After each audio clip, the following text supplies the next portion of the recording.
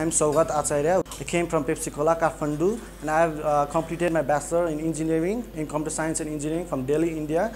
And after completion of my bachelor, I was wondering to pursue my master's degree to the dream destination USA. I was searching for a good uh, consultancy in uh, Kathmandu Valley, and I came to know about Boston Education Services in Kathmandu, New Baneshwor.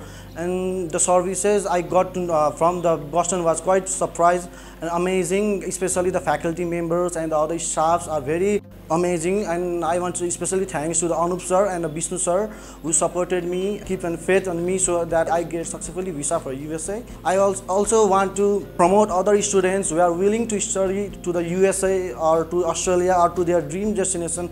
You can just visit uh, Boston Education Services New Baneshwor at Baneshwor Plaza block number 2 so that you can you open your door to your dream destination.